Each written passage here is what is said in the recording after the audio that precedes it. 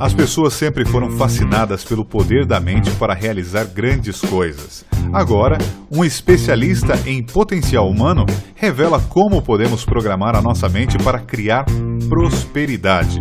Neste livro, Randy Gage explica como você pode programar o subconsciente para se libertar da consciência de escassez e desenvolver a consciência da prosperidade. Título: Seis lições para atrair a prosperidade. Autor: Randy Gage. Editora Cultrix.